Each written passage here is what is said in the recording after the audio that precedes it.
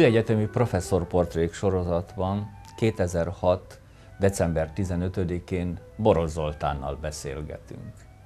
Hallgatva a Smetana csodálatos Moldva szimfóniáját, az jutott eszembe közben, hogy a te életed is ilyen gyönyörű gyorsodrású volt.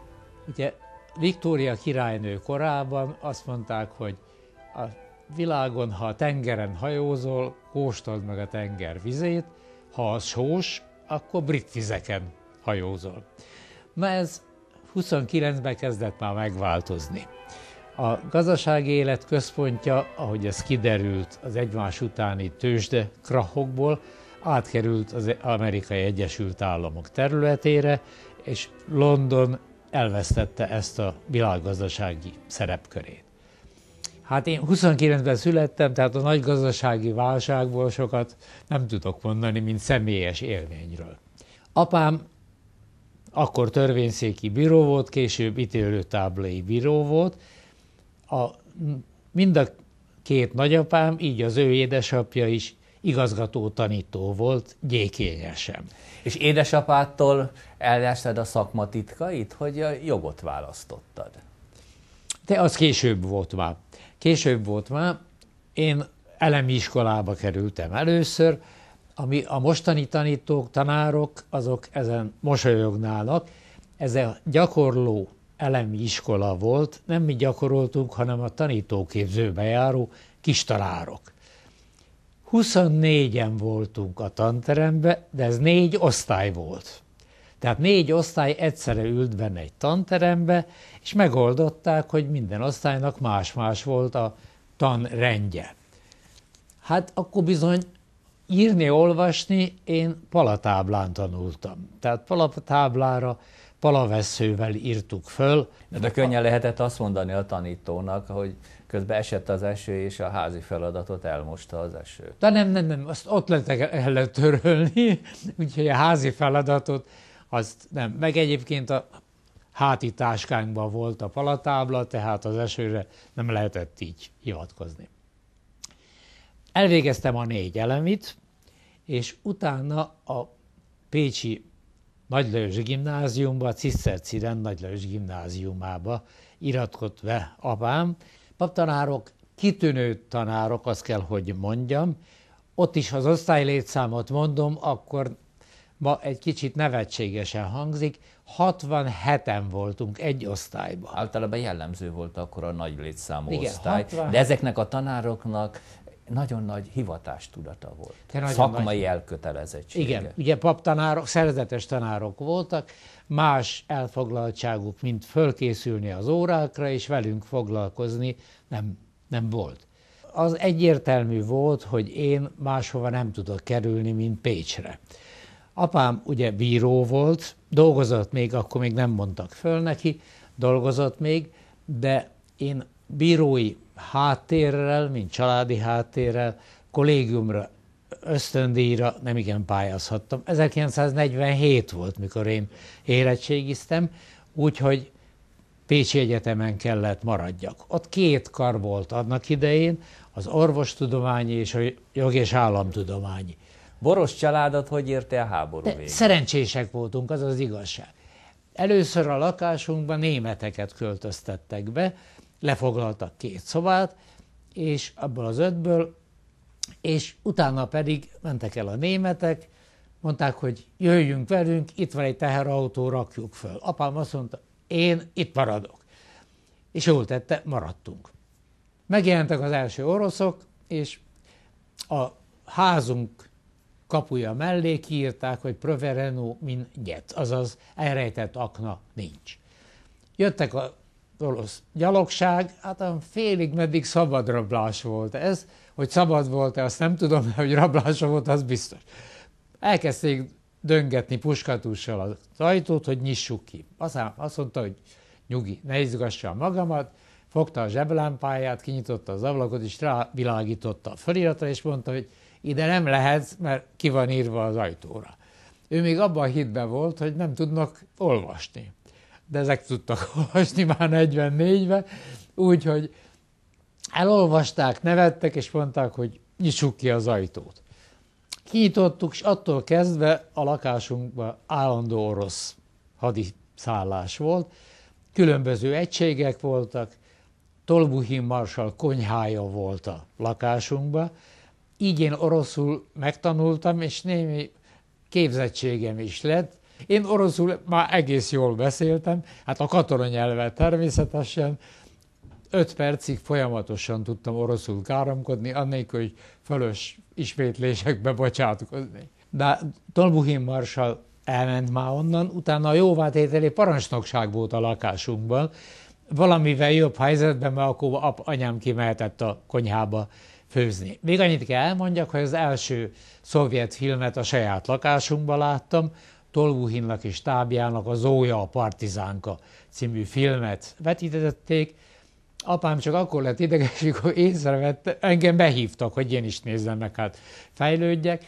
Észrevette, hogy a csillárunkat fölkötötték, hogy ne lógjon be a filmvetítés közben, és ő akkor óvatosságból a csillárt felső lemezébe helyezte el anyámnak az ékszereit. Na, most ez nem volt, nem az Eszterházi kincskamrának az ékszerei voltak, de hát mégis nyakláncok, gyűrűk, stb. Na most kis, azt mondta, ezt biztos észrevették, mondta apám, de szólni nem lehetett akkor. Megnéztem az óját, és utána hamarosan túlbuhinék elmentek. Bementem utána ebédlőnkbe, ahol a orosz tábornokok ebédeltek, és néztem, a zsolnai porcelánkészlet eltűnt teljesen, az ezüst étkészlet eltűnt teljesen, elkaptam a sztarsinát, és káromkodtam rendesen oroszul, hogy hol a francban van, tessék vissza. Nem lehet, az előző teherautó volt, elment már. Azt mondta, hogy Zoltán, nyugi, adok helyette két birkác. Végig gondoltam, ez abban az időben egy nagyon jó csere üzlet volt, ugye hús nem volt, valamit kellett De kezdem volna. érteni, hogy miért foglalkoztál te aztán gazdaságtudományjal. Ugye ezzel kezdem Persze, persze. Igen. Itt én forszírozom a jogi pályára való kerülésedet, igen. édesapád nyomdokán halasz, és te is jogász leszel, bíró leszel, és kiderül, hogy már ugye alapiskolában elsajátítottad a gazdálkodás Gazdaság... ismereteit. Igen, persze. így van. Így van, méghozzá oroszul. Igen, igen. méghozzá oroszul. Érettségi után ugye a egyetemre iratkoztam be, ahol a jogi egyetem, a jogi stúdiumaim mellett én tanultam tanfolyamokon, üzemgazdaságtan, könyvitelt, még újságíró iskolát is végeztem. Milyen volt az egyetemi élet itt a háború után Pécsett? De jó volt, kellemes volt. Kellemes volt, hát szegények voltunk rettenetesen, úgyhogy azzal nem volt ennivaló, meg ilyen. Mennyire voltak biztosítottak az oktatás feltételei? Te nézd, tantermeknek voltak, ugye Pécsnek volt egy nagy előnye, hogy puskalövés nélkül esett el. Tehát ott az épületek nem károsodtak, tantermek megvoltak, jegyzetek azok már gondot jelentettek, új, új jegyzetek kellettek, új tankönyvet kellettek, de az is megoldódott. A professzori kar jó volt, a ugye a Pozsonyi Egyetem került át akkor Pécsre, mert közben a török idők alatt ott szünetelt a tanítás, úgyhogy jó professzori kar volt, nemzetközileg is ismert, és itthon is ismert professzorok voltak, hogy csak néhányat említsek. Flachbar Ternő tanított a nemzetközi jogra, Kaiser, akinek még a cikkeit néha előveszik, hát meghalt már szegény Kaiser Lipót a polgári jogra, Rudolf Lóránt, akinek az új könyvét őrzöm most. Ez a könyv, ez annak idején a börtönbe íródott, mert öt évet kapott szegény, és nem folytatom a professzorok felsorolását. Beleillik abba a sorba, amiben a mérnökök közül is többen ugye beletartoznak, hogy börtönbe születtek a 50-es években kiváló műszaki Igen. alkotás. Ott írta ezt, a könyvet, most most jelent meg, mostanában két vagy három éve már. Tudod, Adi után... írta ének a porba, ki magyar tájon nagy sorsra vágyik, rokkanva jut el az éjszakáig.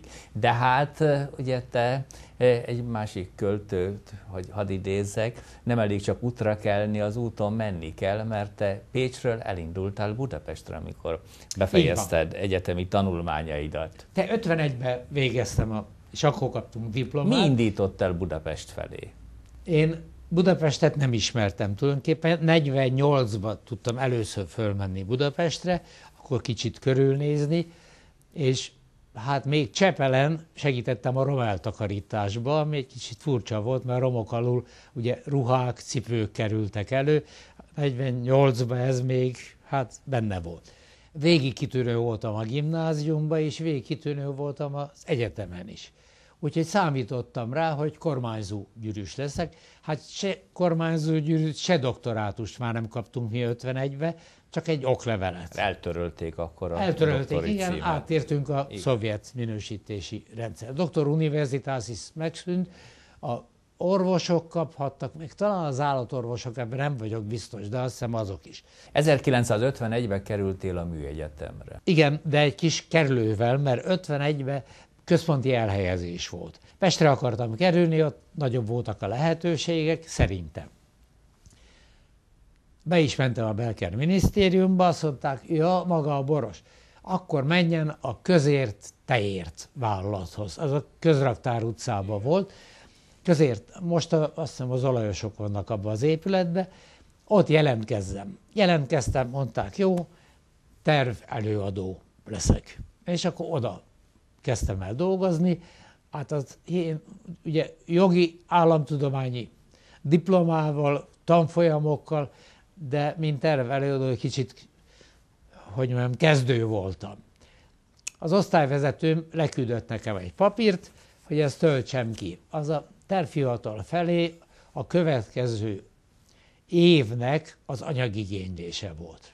Hát kicsit gondba voltam, mert az volt, hogy hány köbméter tölgyfa gerenda kell a tejértnek a következő évben. Vakartam a fejemában, fogalmam nincs, a tejértnek, ugye, de hol kell ott tölgyfagerenda. No, ebben az időszakban a egyik volt osztálytársam, Pap Miklós, neki mondom a nevét, kollégám mondta, hogy a Harsányi professzor a, Pécs, a Budapesti Műszaki Egyetemen tanársegédet keres. Mondta, hát menj. Én már voltam, mondja, de én nem voltam jó neki, ennyel próbáld meg, semmibe se kerül. Mondtam, ez igaz. Úgyhogy én beállítottam Harsányi professzor úrhoz, aki indított engem tulajdonképpen itt a műegyetemen. Ő engem lekáderezett, ahogy annak idején hívták. Hol volt akkor a tanszék? A tanszék akkor, akkor alakult a villamoskar, és egy villamosmérnöki kar, ugye addig a GPSB volt, és a stacék épületben volt nekünk a tanszékünk. Ragyogó volt, azt kell, hogy mondjam, pláne a teért után, az első emelet egyik fele az, ami tanszékunké volt, a második felébe a vízgépek tanszék volt, a pattantyús professzorék voltak ott. Úgyhogy ragyogó helyünk volt, és hát volt, hozzá kellett ugye előbb tennem, hogy Harsányi professzor fölvetetett engem, kikértek, meg a kikérés, csak áthelyezéssel lehetett közlekedni, áthelyeztek engem a közértejérből egyetemi tanársegének. Hát állati boldog voltam, egy hatalmas szobám volt, ami később labor volt a villamosmérnök. És a Harsányi nem mellett egy jó műhelybe kerültél. És egy jó műhely, hát Ugye? akkor még nem volt nagy a műhely, akkor egyedül voltam tanársegéd. De jó odafigyelt. De volt egy könyvszárosunk, és Harsányi átmentette a Heller Farkas könyvtárának egy jó részét, amilyen vállalati üzemgazdaságtan volt tanszék neve akkor üzemi tervgazdaságtan volt, úgyhogy, és aztán jöttek a többiek, a, akik tényleg jó nevűek voltak, és akiktől sokat tanultam. Szendrovics professzor, aki Kanadába alapította a McMaster University Business Schoolját, ő lett az első dékánja, és Amerikába tanított, a később dolgozott itt Pesten is, a European Schoolnak volt a meghívott tanára, úgyhogy Pesten találkoztunk újra. Susánszki János, aki a Miskolci Borsodi iskolát alapította, meghaltak már mind a ketten szegények, velük kettőjükkel voltam egy szobában, de elfértünk, elfértünk bőven. Aztán mentünk tovább. A Harsányi azt mondta nekem, hogy menj ki, és legyen üzemi gyakorlaton, ami annyit jelentett akkor, hogy nyáron egy hónapra a Gancmávagra kiküldtek engem, ami hát kék köpenyt jelentett, korán kell, bár a műegyetemen is korán, voltam megkényeztetve a műegyetemen, de láttam az ipart, tehát kim voltam a gyárba, kék köpenybe, megtanultam, hogy hogy is néz ki egy gépgyár és egy... De viszont ezt az ipari gyakorlatot jól tudtad hasznosítani az oktatásba. Mert azért mérnököknek oktattátok ti ezeket a tárgyakat. A műegyetem műszaki tanszékei általában visszavonultak a műszaki tudás felé. Nem foglalkoztak ők akkor a gazdasági kérdés. Miért mondom ezt? Azért, mert ez régen izgalmas volt. A műegyetem professzorai, amellett, hogy itt voltak köz, közgazdászok, ugye Heller féle híres, nemzetközileg is híres közgazdasági iskola, Pattantyus Ádám, aki a saját könyvében a gépek üzemtana, még ebből tanulta, meg volt, de valakinek kölcsön adtam, és érdekes módon, ez egy érték lenne újra. Ő a könyvének a végén tulajdonképpen a mérnök gazdasági feladatairól beszél. Nagyon fontosnak tartották a mérnökök a gazdasági ismereteket. Igen. És a Helleri, a Helleri örökség után, ugye Heller farkas örökségét tulajdonképpen ti itt átvettétek, és talán a Harsányinak is affinitása volt arra, hogy a kint és a bent harmóniáját megteremtse, tehát a mérnök hallgatóknak olyan ipari, gazdasági ismereteket oktasson, oktassatok, amelyeket később mérnöki munkájuk során hasznosítani tudták. Igen. Ez egy nagy kihívás volt számotokra. Így van. Így van, és ez tulajdonképpen egyéni módon lehetett megnyerni, hogy befogadjanak bennünket. Visszatérve itt a, a, a tárgyaitokra, hogy hogy fogadták ezt a mérnök hallgatók? De az elején nehezen. Tehát azt kell mondjam, hogy minden mérnök előadáson meg kellett küzdeni azért, hogy elfogadjanak, befogadjanak bennünket. Meg kellett tanulnom a, hogy mondjam, a mérnöki nyelvet, a mérnöki gondolkodás módot. Büszke vagyok, hogy például a számvitelre van is egy jegyzetem valahol, ami a számvitelt a műszaki szemléletmódjal vezeti be és kezdi tanítani. Nagy sikerem volt később, azokkal a hallgatóknál, akik ugye beültek, aztán számvitel, Jézus Máriám, ennél rosszabb tárgy nem lehet, és kezdték megérteni, hogy ez megy. Pattantyus Ábrahám professzorul kell még mondanom, ugye annak idején nem csak szabad nép fél órára kellett menni, hanem oroszul is kellett tanulni. Úgyhogy én a vízgépek tanszékre voltam beosztva, és Pattantyus professzorral együtt tanultuk az oroszt. Most az orosz tanárnőnk az egy leckével előre tanult mindig szegénybe, ki tudja mi volt francia, német, vagy latin szakos, úgy tanulta. Én pedig ugye, hát orosz katonai nyelvből perfekt voltam. Na most Ábrahám, Ábrahám, én csak Ábrahám néven mondom, Pattantyus Ábrahám professzor úr ezt észrevette, és mondta, hogy ide ülj mellém, Zoli. Úgyhogy mindig mellette ültem, és suktam neki, hogy mit írjunk le, vagy hogyan kell leírni ezt Cyril. Ő Mert nagyon szerette a fiatalokat. Én már beszélgettem itt a portré sorozatban is több professzorral, akik mindig vissza-visszatértek a Patyi iskolához, Igen. és akikkel már nem tudunk ugye beszélgetni, Terplán Zéno és mások, akiknek az életútját úgy alakította, hogy később is, hosszú évtizedeken keresztül olyan témákkal tudtak foglalkozni, hogy meg mind itthon, mind pedig külföldön elismerést szereztek. Igen. Odafigyelt a fiatalokra, százlábúakat boldogan fogadta ugye a tanszékre, foglalkozott a fiatalokkal, és azt hiszem, ha bárhonnan jött, mondjuk más szakmából jön valaki, nem véletlenül, hogy azt mondja, gyere, ülj ide mellém, igen. mert igen, itt van egy fiatal ember, ezzel foglalkozni. És tud oroszul. tud sugni nekem, mert Patyi bácsinak másból nem igen kellett volna sugni, de oroszból kellett, kellett sugni. Igen. Elkezdtem a tanársegédi módot, fehér köpenybe jártunk, ami nem csak státuszszimbólum volt, vagy az oktatót jelezte, hanem azon kívül nagyon praktikus volt, mert az előadásaimat azt én természetesen fekete táblán, fehér krétával tartottam, és azok a kréták ugye porzottak, de retteltesen.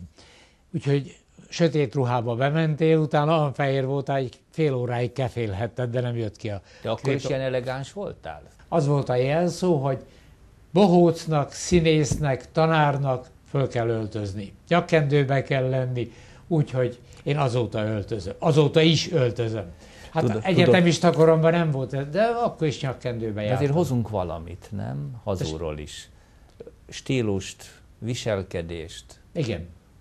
956 tavaszán kerültem én a Kohó és Gépipari Minisztérium híradástechnikai igazgatóságára. Ugye akkor az öreg professzorok azt mondták nekem, hogy fiam, aki tudja, azt csinálja.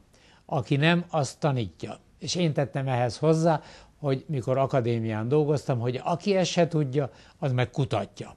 56-ban a Forradalmi Bizottság elnökévé, illetve a Minisztérium Bizottság tit, ö, tagjává választottak.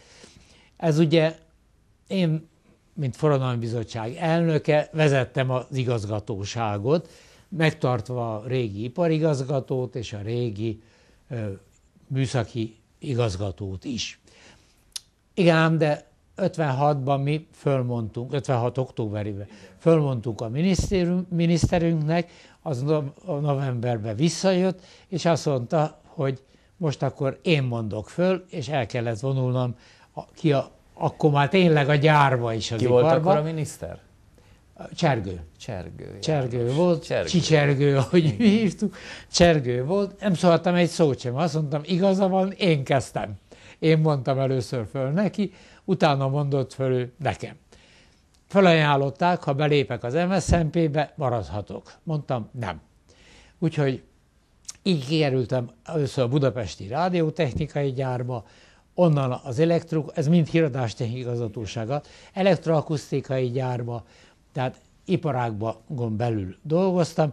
Akkor dolgoztam ezzel a számítógéppel, kitűnően tudtam vele számolni mind a négy műveletet, és még gyököt is vontunk vele.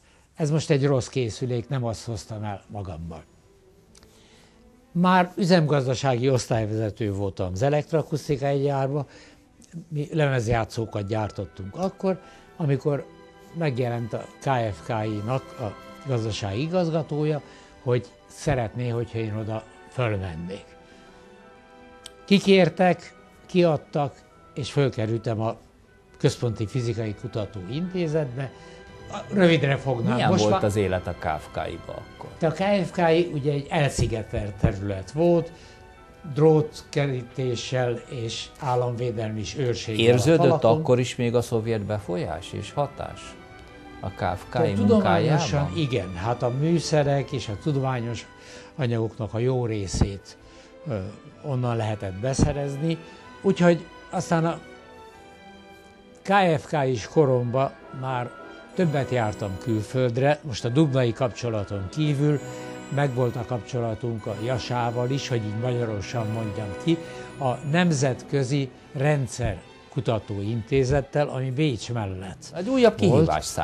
Számodra. De ez újabb kihívás volt, én az akadémián voltam előtte, mert behívtak, hogy jól csinálom a KFK-ba a gazdasági neket, és az akadémia terv és pénzügyi főosztályára hívott be az akkori főtitkár.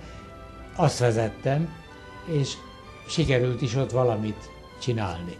A, akkor sikerült elérnem, hogy az akadémiának legyen egy kutatási alapja. Ugye adóztunk mi a KFK-ba a szerződéses kutatási munkák után, ahogy a műegyetemi hívták a KK-k után. Meg tudtam egyezni a pénzügyminisztériummal, hogy mi adózunk, de az adó az ne a pénzügyminisztérium a nagy költségvetésbe kerüljön, hanem az akadémiának legyen egy ilyen alapja, amiből tudtuk támogatni a nem szerződéses kutatással rendelkező intézeteket. Az akadémiából kerültem én a mérésügyi hivatalba, megint hogy, úgy, hogy az egyik akadémikust elküldték a Nemzetközi Atomenergia Bizottság elnökének, és mondta, hogy jöjjek oda elnök helyettesnek, hát elnök más lesz, ugye, mert az én hátamon rajta volt a kettes, Igen. hogy első ember azért ez nem lehet, Aha. forradalmi bizottság volt elnöke megint, mindegy, de Mi? már kettes ember lehet. Stigmatizált voltál. ker- Igen, így van. És így kerültem én az mérésügyi hivatalba elnök helyettesnek. Annak idején Ugye én arra voltam büszke, hogy én voltam az, aki először leírta, a kormánynak volt egy tudománypolitikai bizottsága, Igen. leírta az innováció szót, és mondtam, hogy innováció kell, mert akkor széttagolt volt. Ugye nagyon sok idős tapasztalt ö, munkatársa voltak OMV-nek, majdnem azt mondhatom, nyugdíjas korú volt professzorok, vagy ipari szakemberek ültek ott benne a hivatalunkba, akik jó ismerték a magyar ipart, és tudták, hogy hova kell pénzt adni. És közben itt az oktattál a műegyetemen, és... és akkor jött egy kellemes időszak, ugye lehetett pályázni különböző kormánytámogatásokra, így kell, hogy fogadjam, fogalmazzak. A British Councilon keresztül sikerült kiverekednünk a Heriot-Watt University-vel az MBA képzésre a, a támogatásunkat, majd később az amerikai Egyesült Államok ö, nemzetközi fejlesztési irodáján keresztül a amerikai Egyesült támogatását, tulajdonképpen ugyanezekre a kurzusokra. Ugye akkor büszke lehettem, mert a tábla és a fehér kréta után a az első multimédia előadó eszköz ide a T-épület második emeletére került. Át kellett vennem a tanszék vezetését, ugye olyan elődök után, mint Harsányi István, Fát János, Ladó László, lettem a tanszéknek a vezetés, vezetője, aminek a neve is közben ipari menedzsment és vállalkozás gazdaságtan tanszékre változott.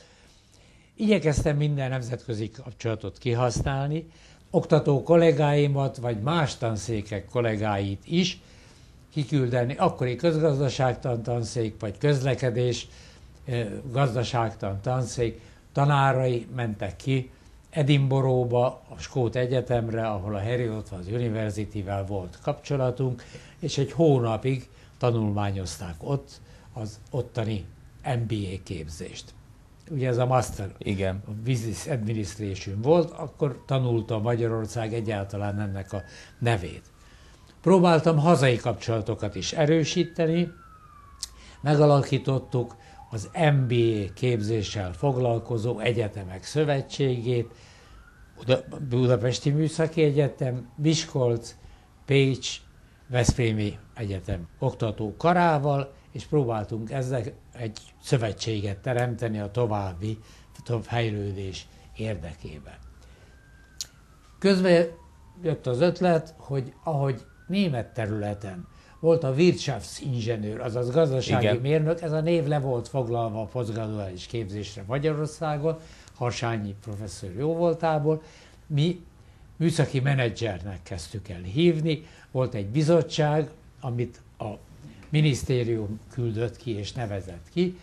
Itt ültünk a szomszéd szobában, 47-es terembe, és dolgoztuk ki a műszaki felsőoktatásban a műszaki menedzser tantervet, milyen arányba, milyen részekből álljon az oktatási struktúra, mennyi legyen a műszaki jellegű tárgy, mennyi legyen a gazdasági jellegű. A tanszék szaporodott is, szaporodott, és osztódással is szaporodott, mi kezdtük el Delfti példára a termék fejlesztő mérnök, amiből lett a termék tervező, önálló szak, sőt most már a, a master képzés indul meg. De úgy Ugye, látom én, hogy a tanszék munkájának jelentős szerepe volt abba, hogy itt egy gazdaság és társadalomtudományi kar jöhetett létre. De igen, ez így igaz. Ugye ismerték a a tudományos továbbképzéseinket, tehát a diploma megszerzése utáni kurzusainkat, amik alakultak az M- gazdasági mérnöktől egész az MBA-ig, megalakult a műszaki menedzserképzés, ezt már utódom, Kövesi Jánosnak a vezetésével, és megalakult a nappali közgazdászképzés is. Ezek már olyan erők voltak, amelyek egy új kar létrehozásához ugye elegendő, indokul szolgáltak. Ugye elértem bizonyos kort, amikor azt mondtam, hogy most már a nagy előadásaimat, azokat átadom. Picit úgy éreztem magam, mint az öreg néger törzsfőnök, aki a mamutvadászatba bele fáradt már, és azt mondják a fiatalok, hogy majd mi, ők már hátultöltős puskával vadásztak, engem fölküldenek a fára, és ráznak, hogy leesek-e. Megkapaszkodtam.